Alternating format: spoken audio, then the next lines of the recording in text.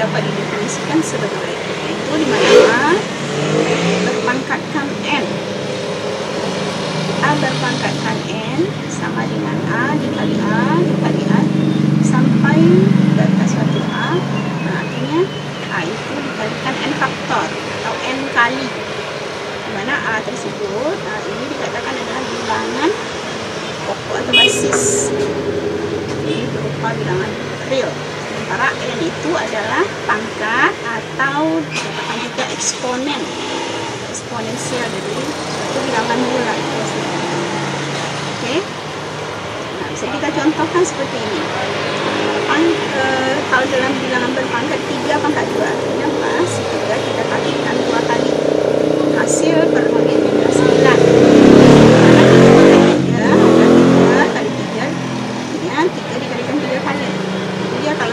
empat tiga dikalikan empat nah pangkatnya empat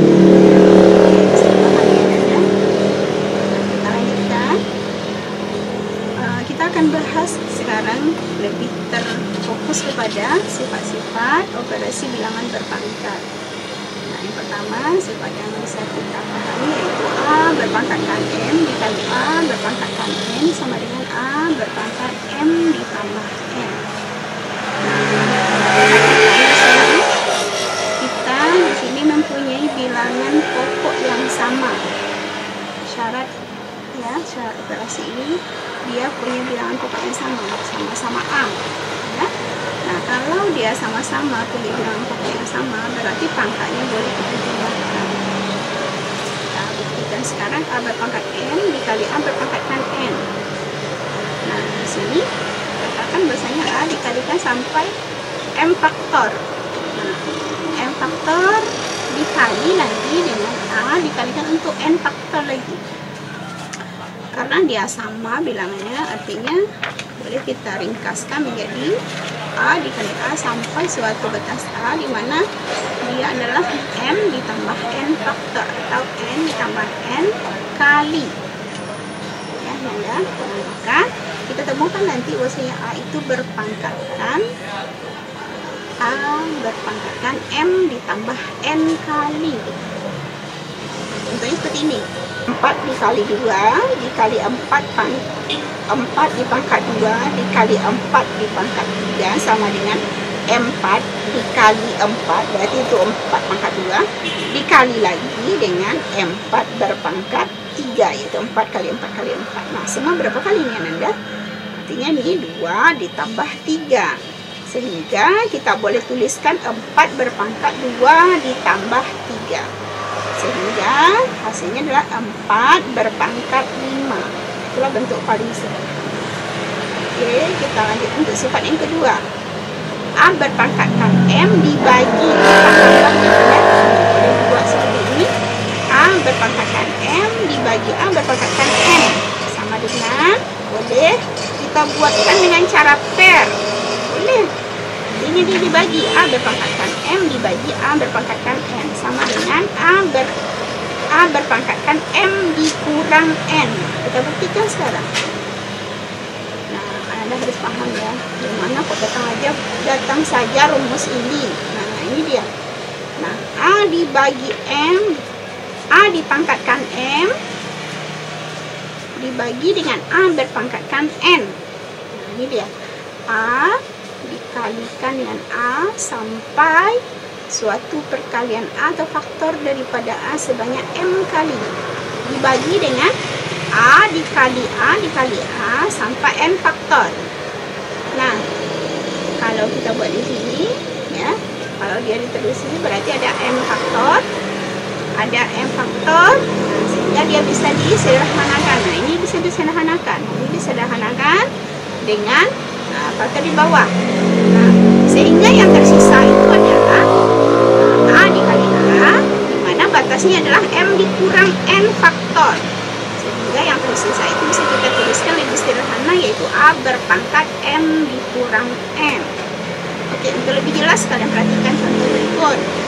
5 berpangkat 6 dibagi 5 berpangkat 4 nah kan boleh kita tulis seperti ini ya Nanda kalau dijabarkan lebih lanjut berarti 5 kita kalikan sebanyak 6 kali karena pangkatnya 6 5 berpangkat 4 berarti kita si 5 ini kita kalikan sebanyak 4 kali.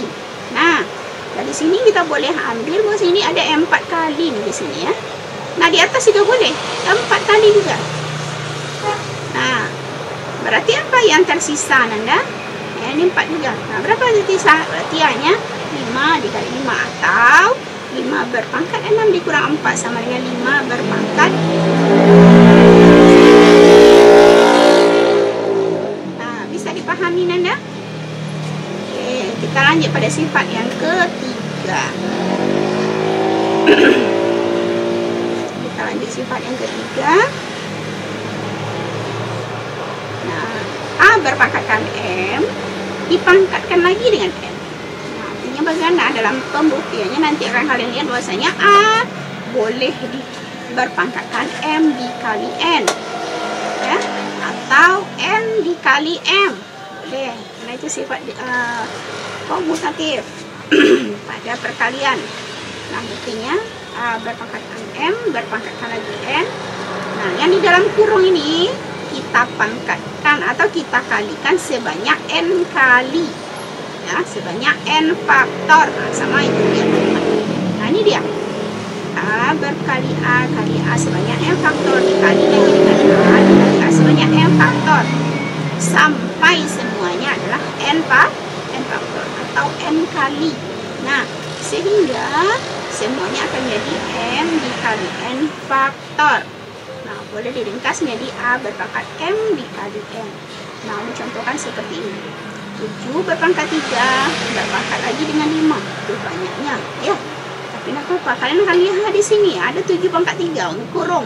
Sebanyak berapa buah? 1 2 3 4 5 nah 5 kali.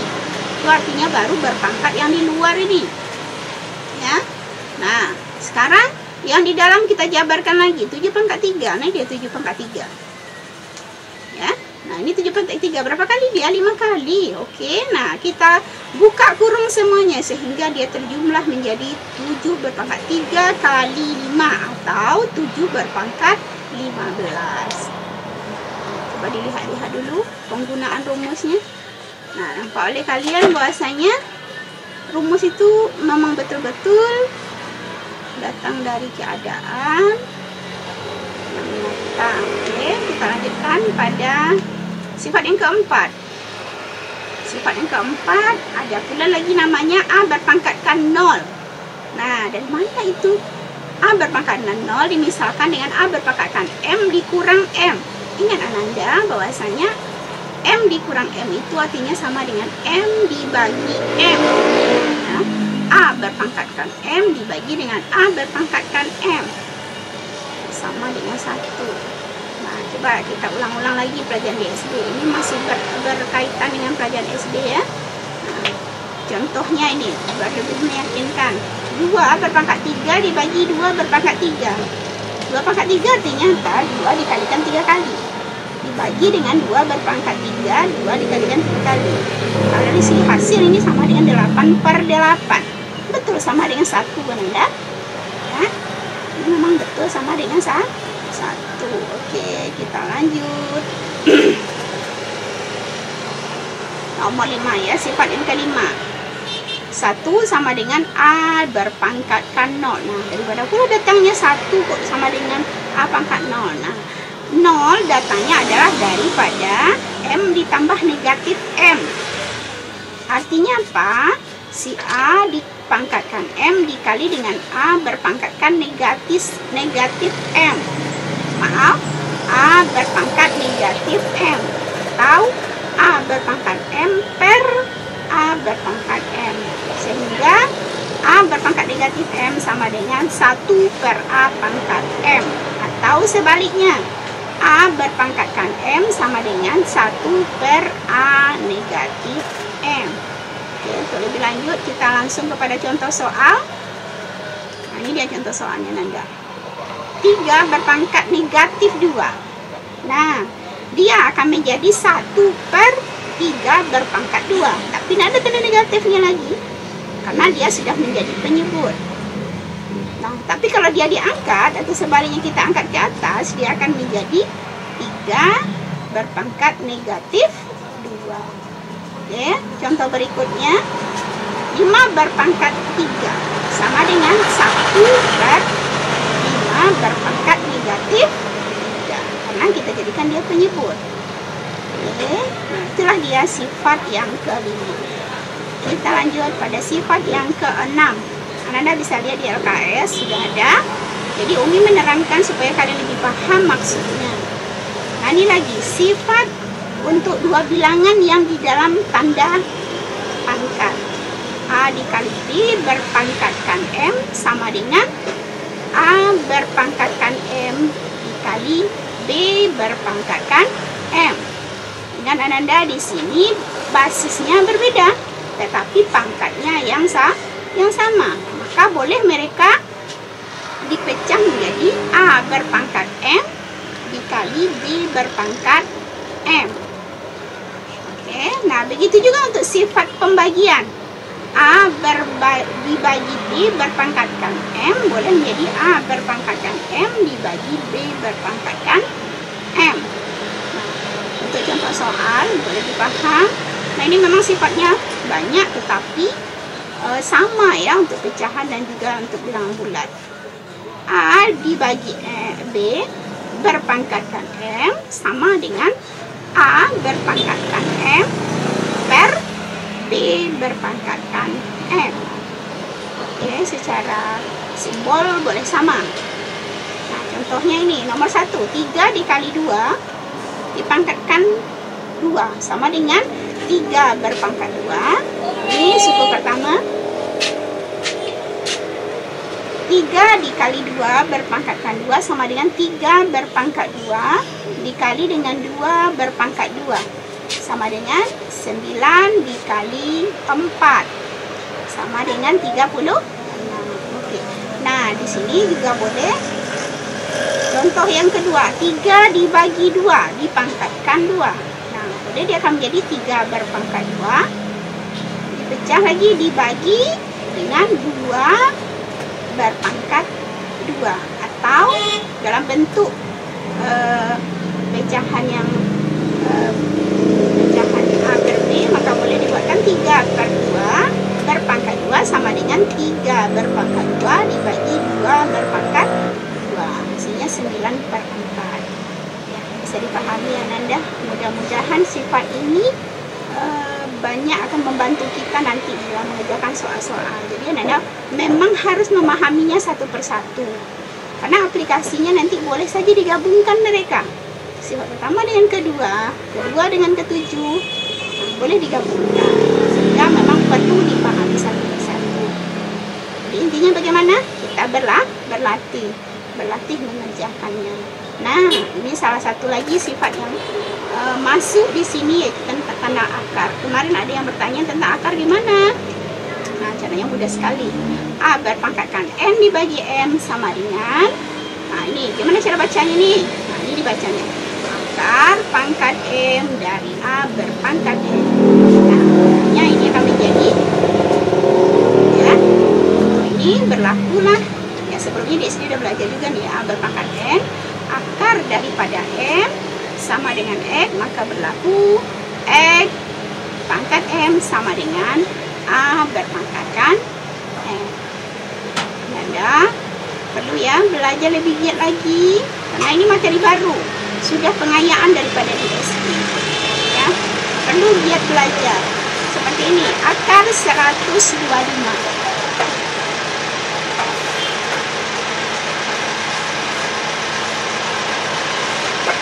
akar 125 akar 3 dari 125 maaf ya bacanya akar 3 dari 125 atau yang di dalam tanda akar kita boleh sederhanakan menjadi 5 berpangkat 3 betul? iya 5 kali 5 kali 5 3 kali. Nah maka ini akan menjadi M. Yang si 3 di luar akan menjadi M. Tadi akan menjadi 5 berpangkat 3 per 3 3 per 3 sama dengan 1 ya Nanda. Nah boleh dia tidak ditulis. Makanya dia hanya jumlahnya 5 saja. Oke kita lanjutkan. Contoh yang kedua, akar 3 dari 64. 64 itu sama dengan 2 berpangkatkan 6. Nah, maka si 6 akan menjadi si N, si 3 akan menjadi si M. Ya, begitu? Nah, boleh kita sederhanakan menjadi 2 berpangkat 6 per 2, 6 per 3. Ya, 6 menjadi si N, 3 menjadi si M. Maka boleh disederhanakan menjadi 2 berpangkat 6 per 3. 6 per 3 sama dengan 2. Berarti 2 pangkat 2 sama dengan 4.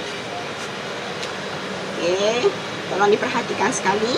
Nah, contoh terakhir, akar 16. 16 itu adalah 2 pangkat 4. Nah, sementara di sini tak ditulis. Ya, ini pun nggak ada ya pangkatnya akar dari berapa? Nah kalian udah kenal ini di SD tetapi sebetulnya ada tulisan di sini. Tapi tidak wajib ditulis. Akar dua di sebetulnya. Akar dua daripada enam enam belas. Nah karena tidak tertulis sekarang kita belajar eksponensial bilangan berpangkat. Akan nampak bahasa ini 4 dibagi dengan akarnya. Akar 2 makanya 2 berpangkat 4 per 2 per 2 ya tambah lagi ilmu kita ya nak daripada di SD nah sehingga hasilnya adalah 2 berpangkat 2 sama dengan 4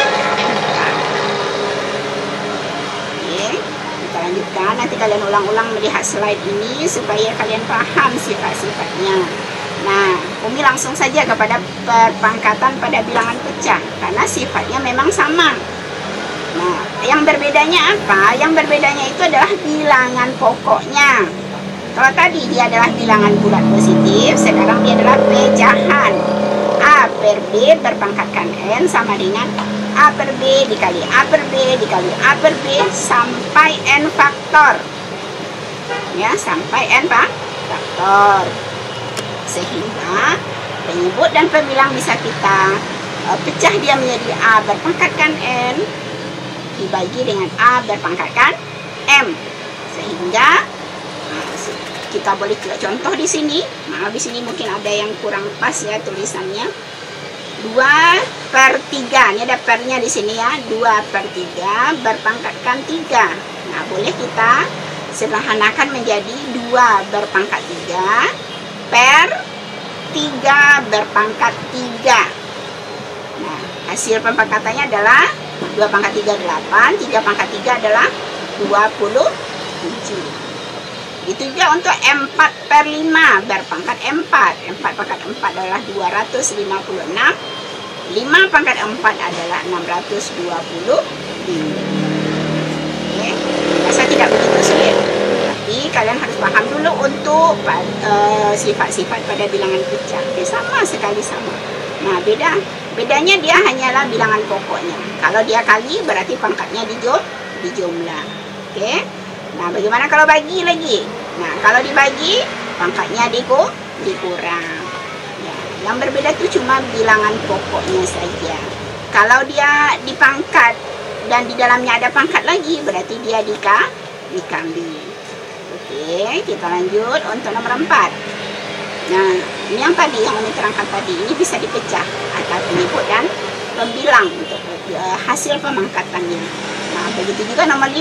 Nomor 5 berarti dia ada tanda negatif. Ya, kalau tadinya dia uh, penyebut dia akan menjadi pembilang. Kalau dia jadi pembilang menjadi penyebut. Oke, Ananda. Nah, dari lima sifat itu ya sama sekali, sama ya, betul-betul sama dengan bentuk pecahan pada bilangan bulat. Nah, contohnya ini. Sederhanakanlah. 3 per 5 berpangkat 4 dikali 3 per 5 berpangkat 5. Nah, nampak Nanda? Kalau dia operasi kali, pangkatnya dia apakan nak? Pangkatnya kita jumlahkan. Nah, nah maka hasilnya menjadi 3 berpangkat 5. Maaf, 3 per 5 berpangkat 9. Kita lanjut contoh berikutnya. Negatif 2 per 7 berpangkat 9 dibagi. Ya nak, Ini ada operasi bagi. Dia dibagi oleh bilangan dengan bilangan pokok yang sama, yaitu negatif 2 per 7 juga. Pangkatnya yang berbeda. Pangkatnya 4 sekarang. Maka di sini bilangan pokoknya tetap, pangkatnya ada operasi pengurangan. Nah, hasilnya adalah negatif 2 per 7 berpangkat 5. Oke. Lanjut sifat yang ketiga. 1 per 3 berpangkat 5 dipangkatkan lagi dengan 3. Nah, bagaimana ini? Hubungan mereka ini? Nah, katanya tadi kalau dalam berpangkat dan dipangkatkan, mereka pangkatnya nanti akan menjadi kali. Maka sepertiga berpangkatkan 5 dikali 3. Sehingga seperdua pangkat 15 hasil akhirnya. Oke, nah sekarang bagaimana kalau ada tanda negatif untuk pangkat? Nah, kata Umi tadi apa? Yang penyebut jadi pembilang, pembilang jadi penyebut. Ya kan? Nah, makanya dia akan menjadi dua yang tadinya penyebut, pembilang maaf, dia akan menjadi penyebut. Nah, sekian. Ya kan? Nah, kalau tadi negatif tiga, dia tadi yang jadi positif tiga. Nah, penyebut dari 5 negatif 3, pangkatnya uh, dia 5 berpangkat negatif 3 akan menjadi 5 berpangkat. Dan Anda dengan pelajaran ini, kami harapkan kalian betul-betul memperhatikan kembali. Ya, sangat-sangat memperhatikan. Nah, ini kan cuma bertukar tempat dia itu. Ya, setelah kita pecah, kemudian dia akan bertukar tempat menjadi pangkat yang positif. positif tadinya pembilang menjadi penyebut dari penyebut menjadi pem pembilang oke. Okay? oke ya mudah-mudahan ya belajar hari ini uh, mempunyai manfaat untuk kalian. Karena ini materi yang memang betul-betul matematika dasar namanya. Sampai kalian kuliah nanti akan kalian gunakan. Kami ucapkan selamat belajar. Selalu semangat. Semoga berkat. Wassalamualaikum warahmatullahi wabarakatuh.